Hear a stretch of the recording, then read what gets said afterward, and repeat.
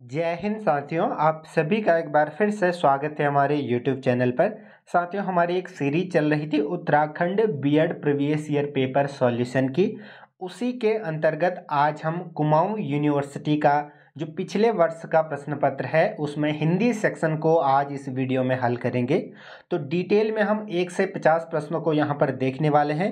अगर आपको अन्य यूनिवर्सिटीज़ के पेपर चाहिए, जैसे Sridev Suman S S J U तो आप चैनल पर जाकर प्लेलिस्ट उनकी सेपरेट देख सकते हैं। वहाँ पर आपको काउंसलिंग के संबंध में स्ट्रेटजी, सिलेबस, फ़ीस सारी डिटेल्स आपको वहाँ पर देखने को मिल जाएगी। लाइव सेक्शन जो लाइव सेशन है हमारा क्वेश्चन आंसर का, वो सारा सेक्शन आपको देखने को मिल जाएगा। आप उनको जाकर देख सकते हैं। तो चलिए शुरू करते हैं इस वीडियो को बिना किसी देरी के। बाकी अगर चैनल पर नहीं हैं तो चैनल से जुड़ जाइएगा। हमारा टेलीग्राम ग्रुप भी है। एक तो मेन ग्रुप है और दूसरा हमारा बी वालों का जो डिस्कशन ग्रुप है, आप उससे भी जुड़ सकते हैं। वहाँ पर आपको लेटेस्ट अपडेट मिलते रहेंगी। वैसे भी यहाँ पर आपको उत्तराखंड की सभी परीक्षाओं की तैयारी कराई जाती है तो चैनल से जुड़ सकते हैं। चलिए शुरू करते हैं। पहला प्रश्न है हमारा, हिंदी भाषा के पचास प्रश्नों को हम यहाँ पर देखने वाले हैं। हिंदी साहित्य में काल विभाजन एवं उसका नामकरण का प्रयास सर्वप्रथम किसने किया? तो सर्वप्रथम किसने किया यह पूछा गया है। जॉर्ज गियर्सन ऑप्शन बी को यहाँ पर आप टिक कर लेंगे। इन्होंने ही काल विभाजन एवं उसका नामकरण का प्रयास सर्वप्रथम किया था, इसका ध्यान रखेंगे। बढ़ते हैं अगले प्रश्न की तरफ़। अगला हमारा प्रश्न है, काफ़ी महत्वपूर्ण प्रश्न है। इसके संबंधित या इससे संबंधित एक न एक प्रश्न आपको हर बार देखने को मिलेगा। आदिकाल को आदिकाल नाम किस विद्वान ने दिया? देखिए, आदिकाल को आदिकाल, क्योंकि जो आदिकाल का समय था, वो लगभग आठवीं शताब्दी से लेकर चौदहवीं शताब्दी तक माना जाता है, अप्रोक्स। ठीक है? तो इसको आदिकाल किसने कहा था? ये आपका आदिकाल कहा था, हजारी प्रसाद द्विवेदी ने। किसने कहा? हजारी प्रसाद द्विवेदी। अब इसके संबंधित या इससे संबंधित काफ़ी प्रश्न पूछे जाते हैं, इनको आप नोट डाउन कर सकते हैं। ठीक है? इस आदिकाल को ही वीर गाथा काल भी कहा गया। क्या? वीर गाथा काल भी कहा गया और वीर गाथा काल कहा आपका? रामचंद्र शुक्ल। यानी कि आचार्य रामचंद्र शुक्ल ने कहा, इसको आप नोट डाउन कर लीजिए जो मैं आपको बातें बता रहा हूँ। वीर काल कहा आपका? ठीक है, वीर काल भी कहा गया। किसको? आदिकाल को। ये कहा आपका विश्वनाथ मिश्र ने। किसने? विश्वनाथ विश्वनाथ मिश्र ने कहा वीर काल मिश्र बंधु ने भी इसका नामकरण किया, ठीक है? मिश्र बंधु ने क्या कहा? मिश्र बंधु ने इसको आरंभिक काल कहा। क्या कहा? आरंभिक काल कहा। बीजपन काल, ये भी कई बार पूछा जाता है, ठीक है? बीजपन काल किसने कहा? तो ये कहा आपका, महावीर प्रसाद द्विवेदी। नोट डाउन कर लीजिए। राम कुमार वर्मा ने इस काल को चारण काल कहा, ठीक है? आपको इस बार या किसी भी जो है पेपर में आपको ये देखने को मिल जाएगा कि हिंदी साहित्य का जो आदिकाल था, उसको चारण काल किस कवि ने कहा? तो चारण काल कहा आपका राम कुमार वर्मा ने। राहुल संकृत्यायन राहुल संकृत्यायन ने भी क्या कहा इसको? सिद्ध सामंत काल इसको कहा है। ठीक है, इन सभी जो जो चीज़ें मैंने आपको बताई, इनमें से एक प्रश्न आपको हर हमेशा देखने को मिलेगा, इसका ध्यान रखना। बढ़ते हैं अगले प्रश्न की तरफ़। सिद्धों की भाषा है। सिद्धों की भाषा क्या है ये पूछा गया है? मूलतः वो अपभ्रंश या हिंदी पुरानी हिंदी लिखते थे, लेकिन जो उनका एक भाषा था, वो संध्या इसको कहा जाता है। तो ऑप्शन सी यहाँ पर बिल्कुल क्या हो जाएगा? करेक्ट उत्तर हो जाएगा। ऑप्शन सी को आप यहाँ पर टिक कर लीजिए। नेक्स्ट क्वेश्चन काफ़ी इंपॉर्टेंट क्वेश्चन है। नाथ संप्रदाय को मानने वाले मूलतः किसकी उपासना करते हैं? नाथ समझ के आप जगन्नाथ या भगवान विष्णु को समझ रहे होंगे, लेकिन जो नाथ संप्रदाय वाले हैं, वो मूलतः भगवान शिव की उपासना करते हैं, ठीक है? ऑप्शन ए इसका बिल्कुल एग्जैक्ट आंसर हो जाएगा। बढ़ते हैं अगले प्रश्न की तरफ़। निम्नलिखित में से कौन सुमेलित नहीं है? इससे रिलेटेड प्रश्न अभी आपको हमेशा देखने को मिलेगा। ठीक है, यहाँ पर पूछा गया है कि निम्न में से कौन सुमेलित नहीं है, ठीक है? ठीक है? तो इसमें पूछा गया है कि निम्नलिखित में से कौन सुमेलित नहीं है या कौन सा सही नहीं है? तो ऑप्शन बी को आप यहाँ पर टिक कर लेंगे। द्वैता, द्वैतवाद, रामानुजाचार्य, ये क्या हो जाएगा आपका? गलत है सुमेलित, क्योंकि द्वैतवाद माध्वाचार्य राइट है, अद्वैतवाद शंकराचार्य ने दिया था, ये भी सही है। शुद्धा द्वैतवाद वल्लभाचार्य, ये भी सही है। लेकिन जो ये आपका द्वैता द्वैतवाद है। ये आपका निम्बकाचार्य ने दिया था, ठीक है? और जो रामानुजाचार्य हैं, इन्होंने विशिष्टा द्वैतवाद, ठीक है? इसको नोट डाउन कर लीजिएगा। विशिष्टा द्वैतवाद इन्होंने दिया था। नेक्स्ट हमारा क्वेश्चन है, मीराबाई के गुरु का नाम क्या है? तो मीराबाई के गुरु का नाम क्या है? संत रविदास या रैदास, ये आसान सा प्रश्न था। नेक्स्ट हमारा रामचरितमानस का प्रधान रस कौन सा है? रामचरितमानस का प्रधान रस। वैसे तो इसका जो प्रधान रस है, ये है आपका भक्ति रस, लेकिन यहाँ पर अगर देखें तो शांत रस ऑप्शन ए इसका राइट आंसर हो जाएगा। नेक्स्ट क्वेश्चन निम्न में से कौन से रीतिकालीन कवि वीर रस के लिए प्रसिद्ध हैं? तो भूषण इसका हमारा जो राइट आंसर हो जाएगा ऑप्शन ए ये क्या है? रीतिकालीन कवि तो हैं ही, साथ में वीर रस के लिए प्रसिद्ध हैं। नेक्स्ट क्वेश्चन है हमारा, रीतिकाल को अलंकृत काल किस विद्वान ने कहा? तो ये भी प्रश्न कई बार पूछा जाएगा, रीतिकाल को अलंकृत काल किसने कहा? ये कहा आपका मिश्र बंधु ने। ठीक है? नेक्स्ट क्वेश्चन बिहारी किस धारा के कवि हैं? बिहारी किस धारा के कवि हैं? तो बिहारी हैं आपका रीति सिद्ध धारा के ये कवि हैं। साथियों, पचास प्रश्न काफ़ी महत्वपूर्ण हैं, ठीक है? क्योंकि कुमाऊं यूनिवर्सिटी हो या श्रीदेव सुमनी किसी भी यूनिवर्सिटी का बी एड एंट्रेंस एग्ज़ाम दे रहे हैं और उसमें आपने ऑप्शनल में हिंदी रख रखा है तो क्योंकि साहित्य से रिलेटेड ज़्यादा पूछे जाते हैं प्रश्न तो इस वीडियो को पूरा ज़रूर देखिएगा। बाकी चैनल से जुड़ सकते हैं अन्य वीडियोस के लिए भी अपडेट के लिए। भीतर भीतर सब रस चुसे, हँसी हँसी के तन मन धन मुसे।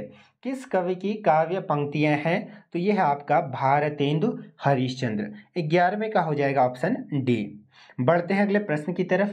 खड़ी बोली का प्रथम महाकाव्य है। देखिए, ये प्रश्न आपको कई बार देखने को मिलेगा क्योंकि इंपॉर्टेंट है स्टार मार्क करके इसको आप नोट डाउन कर सकते हैं। प्रिय प्रवास ऑप्शन डी इसका राइट आंसर हो जाएगा। अब बात करें, ये किसकी रचना है? तो प्रिय प्रवास आपका लिखा था, अयोध्या सिंह उपाध्याय हरिऔध ठीक है हरिऔध ने ये लिखा था, अयोध्या सिंह उपाध्याय हरिऔध ने ये लिखा था लिखा था। नेक्स्ट क्वेश्चन है हमारा, इतिवृत्तात्मकता किस युग की प्रमुख विशेषता है? तो द्विवेदी युग ऑप्शन इसका बी राइट आंसर हो जाएगा। बढ़ते हैं अगले प्रश्न की तरफ़। श्री जयशंकर प्रसाद कृत, कामायनी में कुल कितने सर्ग हैं? तो इसमें कुल सर्ग हैं आपका पंद्रह सर्ग हैं। इसको भी नोट डाउन कर सकते हैं। कई बार ये प्रश्न भी आपसे पूछा जा सकता है, कामायनी की रचना किसने की? तो वो प्रश्न में ही है, आप इसको नोट डाउन ज़रूर करें। श्री सुमित्रानंदन पंत को किस काव्य कृति पर ज्ञानपीठ पुरस्कार दिया गया? किस पर दिया गया? ये दिया गया था आपका चिदम्बरा पर। सुमित्रानंदन पंत को। ये उत्तराखंड के निवासी थे और कौन से सन में ये पूछा गया दिया गया? कई बार पूछा जा सकता है। तो 1968 यानी कि उन्नीस सौ अड़सठ ईस्वी में इन्हें ज्ञानपीठ पुरस्कार दिया गया। Next question. हालावाद के प्रवर्तक माने जाते हैं। हालावाद के प्रवर्तक कौन माने जाते हैं? ये माने जाते हैं आपका हरिवर्ष राय बच्चन। देखिए, अभी तक जो प्रश्न हमने पढ़े, उनको देखकर आपको अंदेशा लग गया होगा कि कैसे प्रश्न यहाँ पर पूछे जाते हैं। ज़्यादातर हिंदी साहित्य से और जो प्रमुख रचनाएँ हैं, प्रमुख निबंध हैं, प्रमुख कविताएँ हैं, दसवीं, बारहवीं के जो चैप्टर्स हैं, उन्हीं से रिलेटेड यहाँ पर आपको प्रश्न देखने को मिलेंगे। हालाँकि कुछ बहुत जो व्याकरण का सेक्शन भी है, जिसमें अंतिम दस प्रश्न हैं, उनको भी देखिएगा। पुष्प की अभिलाषा किस कवि की कविता है? पुष्प की अभिलाषा किस कवि की कविता है? ये है आपका माखन लाल चतुर्वेदी। नेक्स्ट क्वेश्चन प्रसिद्ध कविता, स्वानों को मिलता है दूध वस्त्र, भूखे बाल अकुलाते हैं, माँ की हड्डी से चिपक ठिठुर जाड़ों की रात बिताते हैं। इसके रचयिता कौन है? रामधारी सिंह दिनकर बिल्कुल टिक कर लेंगे, ऑप्शन ए को आप यहाँ पर। नेक्स्ट क्वेश्चन प्रगतिशील लेखक संघ, यानी कि प्रोग्रेसिव राइटर जो आपका ऑर्गेनाइजेशन था, संघ था, इसकी प्रथम अध्यक्षता किसने की थी या किस महानुभव ने की थी, ये की थी आपका प्रेमचंद जी ने, यानी कि मुंशी प्रेमचंद जी ने। ठीक है? और कई बार ये पूछा जाता है कि ये इसकी स्थापना जो है, जो इसका प्रथम सम्मेलन कई बार पूछा गया है प्रथम सम्मेलन आपका हुआ था 1936 ईस्वी में लखनऊ में, ठीक है? और प्रथम अध्यक्ष कौन थे? मुंशी प्रेमचंद। नेक्स्ट क्वेश्चन नागार्जुन को किस काव्य कृति के लिए अकादमी साहित्य पुरस्कार प्रदान किया गया था? तो ये था आपका पत्रहीन नग्न गाछ ऑप्शन सी को टिक कर लेंगे। हो सकता है नोट डाउन भी कर सकते हैं। बार बार वीडियोस को देखेंगे तो आपको ये प्रश्न कंठस्थ हो जाएँगे। नेक्स्ट क्वेश्चन तार सप्तक में कुल कितने कवियों की रचना संकलित है? तार सप्तक में कुल कितने? तो वैसे तो यहाँ पर सप्तक दिया गया है, लेकिन कई बार हम एक्स्ट्रा दिमाग लगा लेते हैं और तार सप्तक दिया है सोच करके सात नहीं करेंगे, लेकिन इसका सही उत्तर है सात ऑप्शन ए सप्तक, ठीक है? इसके अगर हम सभी कवियों की मैं बात करूँ, आप नोट डाउन कर लीजिएगा, मैं लिख, लिखूँगा नहीं, बाकी आप मुँह से बोलूँगा। गजानन माधव मुक्तिबोध, ठीक है? नैमी चंद्र जैन, भारत भूषण अग्रवाल, प्रभाकर, ठीक है, प्रभाकर माजवे गिरिजा कुमार माथुर, राम विलास शर्मा एवं अज्ञेय। ठीक है, ये यहाँ पर इन कवियों की रचनाएँ इसमें संकलित हैं नोट डाउन कर लीजिए। नेक्स्ट क्वेश्चन परीक्षा गुरु उपन्यास के लेखक का नाम। आपने बचपन में कई बार पढ़ा होगा और पहले तो आपको आता होगा, परीक्षा गुरु आपका लिखा था लाला श्रीनिवास दास ने। ठीक है? हिंदी का ये जो है पहला उपन्यास भी इसको माना जाता है। नेक्स्ट क्वेश्चन उपन्यास निस्सहाय हिंदू। इसके रचनाकार का नाम क्या है?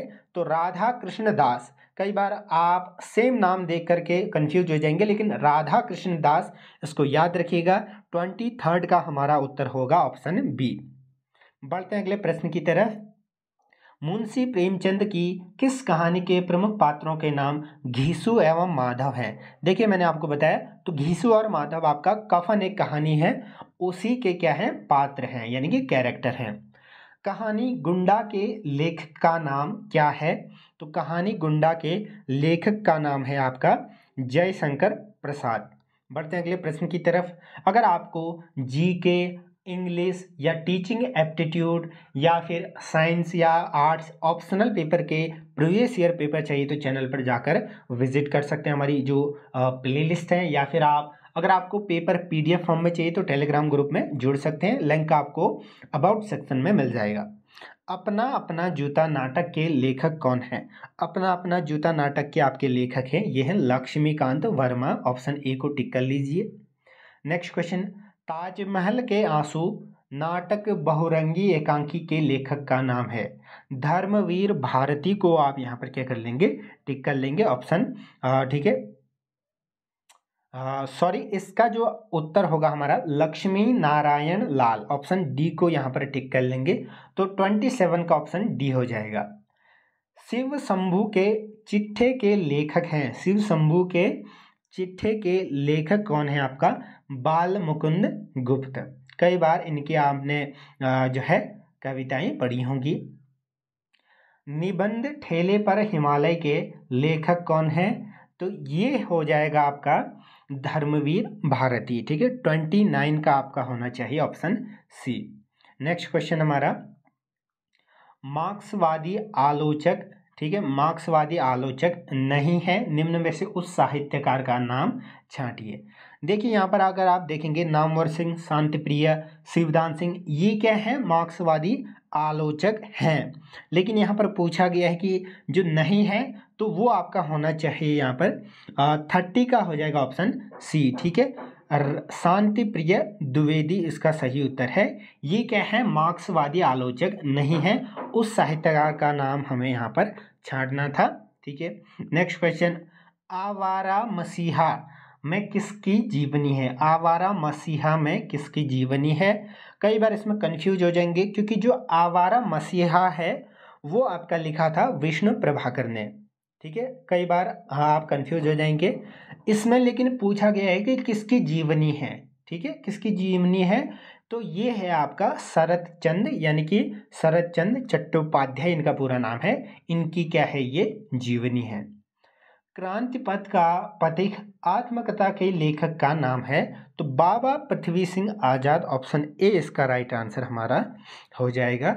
आप देख रहे होंगे काफ़ी इंपॉर्टेंट क्वेश्चन है और थोड़े बहुत जो है कठिन प्रश्न भी हैं, क्योंकि आपने हिंदी साहित्य अगर नहीं पढ़ रखा है तो आपको ये कठिन लग रहे होंगे। बाकी अगर आप देखें, लेखक रचनाएँ, हिंदी साहित्य और थोड़ा सा इसका इतिहास जानने का प्रयत्न करें तो उसी से प्रश्न यहाँ पर आपको देखने को मिलेंगे। पत्रिका पाखी किस स्थान से प्रकाशित की जाती है? तो नोएडा ऑप्शन सी हो जाएगा इसका सही उत्तर। देवनागरी लिपि का जो प्रयोग किया गया था, वो कौन सी शताब्दी में ये किया गया था? देखिए जो कुमाऊं यूनिवर्सिटी ने इसका उत्तर दिया है, वो है नवीं और दसवीं शताब्दी में इसका उत्तर दे रखा है पिछले वर्ष। नेक्स्ट क्वेश्चन भारतीय संविधान के किस अनुच्छेद में यह कहा गया है कि संघ की जो राजभाषा होगी, वो हिंदी होगी, वो है आपका अनुच्छेद तीन सौ तैतालीस, ऑप्शन डी हो जाएगा और देवनागरी क्या होगी? लिपि होगी। नेक्स्ट क्वेश्चन हमारा थर्टी सिक्स पर हम यहाँ पर पहुँच गए हैं। अंतिम प्रश्न जो है, अंतिम पंद्रह प्रश्न यहाँ पर बचे हुए हैं। वर्ष 2021 में हिंदी साहित्य के लिए किस लेखक को साहित्य अकादमी पुरस्कार दिया गया? ये काफ़ी इंपॉर्टेंट क्वेश्चन है। अगर आप इस वर्ष बी का फॉर्म भर रहे हैं तो इस साल और पिछले साल एक दो सालों का आप ये याद रख के चले, क्योंकि प्रश्न ये बन सकता है। तो 2021 में कौन थे? 2021 में थे आपके दया प्रकाश सिन्हा को हिंदी साहित्य का साहित्य अकादमी पुरस्कार दिया गया। अगर बात करें 2022 की तो ये है आपके बद्री नारायण को ये पुरस्कार दिया गया। बद्री नारायण को ये पुरस्कार दिया गया। कौन सा कविता संग्रह? ये है आपका तुमड़ी तुमड़ी के शब्द राइट नेक्स्ट क्वेश्चन वाक्यम रसात्मकम काव्यम, किसका क्या है कथन है? इसका राइट right आंसर होगा हमारा option C Acharya Vishwanath. Thirty seven का हो जाएगा हमारा ऑप्शन सी नाट्य शास्त्र के रचयिता हैं तो भरत मुनि ठीक है ऑप्शन बी को टिक कर लेंगे। नेक्स्ट क्वेश्चन अनुकरण एवं विरेचन सिद्धांत के प्रवर्तक हैं। अनुकरण एवं विरेचन जो सिद्धांत दिया था, ये आपका दिया था। किसने? अरस्तु। ऑप्शन बी राइट आंसर हो जाएगा। नेक्स्ट क्वेश्चन अब हमारा यहाँ पर व्याकरण से संबंधित प्रश्न यहाँ पर आपको देखने को मिलेंगे। निम्न नीचे दिए गए हिंदी भाषा के तालव्य व्यंजन छाटिए। तालव्य व्यंजन छाटना है तो प, फ, भ, ब ऑप्शन डी इसका राइट आंसर हो जाएगा, ठीक है? ये क्या हो जाएँगे? तालव्य व्यंजन। देखिए, अगला प्रश्न है हमारा, नीचे दिए गए हिंदी भाषा के तालव्य व्यंजन छाटिए। तालव्य व्यंजन का क्या अर्थ हुआ? जो तालु के पिछले भाग से हमारा, जो है, जीभ के पिछले भाग से हमारा क्या है? तालु का स्पर्श होता है इन व्यंजनों को बोलने में। अगर आप च, छ, ज, झ एक बार ट्राई भी करेंगे, आप खुद ट्राई कर लीजिए तो आपका जो जीव का पिछला हिस्सा है, वो तालु को टच करता है तो तालव्य व्यंजन कहलाते हैं। ऑप्शन ए यहाँ पर बिल्कुल सटीक उत्तर। नेक्स्ट क्वेश्चन निम्न में अघोष वर्ण कौन सा है? अ, स, ह और ज। इसमें से अघोष वर्ण पूछा गया है तो सौ इसका राइट आंसर हो जाएगा ऑप्शन बी नेक्स्ट हमारा क्वेश्चन हो जाएगा, हिंदी भाषा में लिंग की दृष्टि से दही शब्द क्या है? तो दही आपका पुल्लिंग हो जाएगा। आप अगर इसका वाक्य प्रयोग करेंगे, मैंने दही खाई। ये देखकर आपको लग रहा होगा कि ये स्त्रीलिंग होगा, लेकिन ये क्या है? एक अपवाद है तो ये पुल्लिंग है। और जो संस्कृत भाषा में अगर हम बात करें तो ये नपुंसक लिंग है। लेकिन हिंदी भाषा पूछा गया है तो पुल्लिंग हो जाएगा। नेक्स्ट क्वेश्चन किताब शब्द किस भाषा का शब्द है? तो अरबी भाषा का है। निम्नांक निम्नांकित में बादल का पर्यायवाची शब्द नहीं है। मेघ, जलद और वारिधर क्या है, बादल के पर्यायवाची है। बाकी जो जलद है, ये समुद्र का क्या है? पर्यायवाची शब्द है। नेक्स्ट क्वेश्चन, तारों का पर्यायवाची शब्द नहीं है पूछा गया है। विटप, पादप, द्रुम क्या है? तारों के, यानी कि पेड़ के क्या है? आपका पर्यायवाची है, लेकिन जो तड़ाक है, वो इसका नहीं होगा। तड़ाक होता है आपका सरोवर या तालाब। नेक्स्ट क्वेश्चन अर्वाचीन शब्द का विलोम शब्द छाटिए। अर्वाचीन का अर्थ होता है आपका आधुनिक। तो आधुनिक का क्या होगा? अपोजिट ये हो जाएगा आपका प्राचीन। Option B is right answer next question काफ़ी इंपॉर्टेंट क्वेश्चन आपको देखने को मिल होंगे। नीचे दिए गए शब्दों में से वह स्त्री जिसका पति परदेश से आने वाला हो के लिए एक शब्द क्या होगा? ठीक है? तो ऑप्शन ए इसका सही उत्तर हो जाएगा। आगमिष्य आगमिष्यत पतिका यानी कि आगमिष्यत पतिका option A right answer next question नीचे दिए गए शब्दों में से तत्सम शब्द का चयन कीजिए तो विवाह इसका राइट आंसर हो जाएगा ऑप्शन सी पवन में कौन सी संधि है? पवन आपका अगर इसका संधि विच्छित करेंगे, पौधन अन यानी कि औ ओ और अ को मिलके औ बन रहा है, ठीक है? तो यहाँ पर आपका संधि कौन सी होगी? तो फोर्टी नाइन का आपका होना चाहिए ठीक है? अयादि संधि, फोर्टी नाइन का आपका अयादि संधि। नेक्स्ट क्वेश्चन, नीचे दिए गए शब्दों में से वर्तनी की दृष्टि से शुद्ध शब्द छांटिए तो अनुग्रहित इस प्रकार से यहाँ पर आपका होना चाहिए, ठीक है? अनुग्रहित। ऑप्शन बी इसका राइट आंसर हो जाएगा अनुग्रहित। ऑप्शन बी इसका सही उत्तर है। तो ये हमारे पचास प्रश्न थे किसके? हिंदी सेक्शन के। बाकी अंग्रेज़ी का जल्द ही आपको अपलोड देखने को मिलेगा और जी के अन्य जो आपके सेक्शन हैं, जल्द ही अपलोड हो जाएँगे। कई सारे अपलोडेड हैं, आप जाकर चैनल पर देखिए। जुड़े रहें। धन्यवाद।